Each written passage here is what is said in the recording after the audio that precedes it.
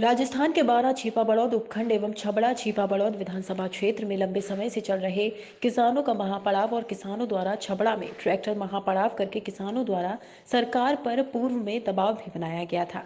उसके बाद किसानों द्वारा रेल रोको आंदोलन को लेकर छबड़ा छिपा बड़ौद विधानसभा क्षेत्र में सरगर्मियाँ तेज हुई।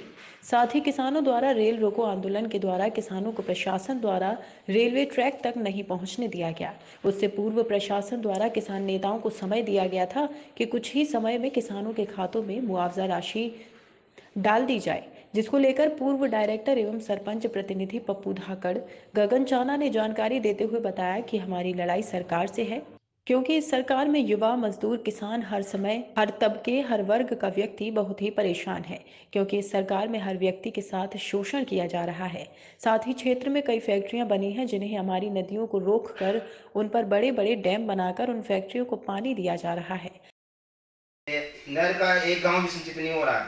हाल हम नरों के लिए भी लड़ेंगे। हमारी लड़ाई लंबी है।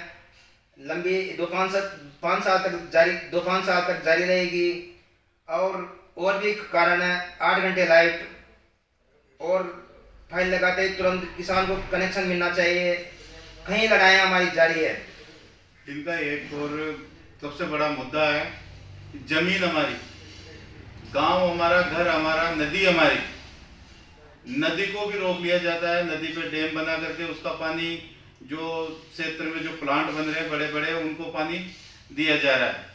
गाँव उसमें कहीं डूब में आए, गाँव जो बेघर हुए लोग, वो अपने परिवार, जात, समाज, गाँव, घर, बाहर, तहसील तक छोड़ के कहीं बाहर निकल गए।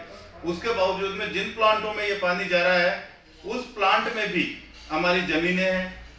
और जमीनें जाने के बाद भी हमारे जो क्षेत्र के युवा है, वो आज भी बेरोजगार घूम रहे हैं।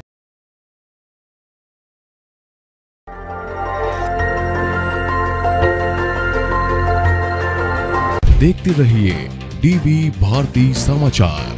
नज़र हर खबर पर।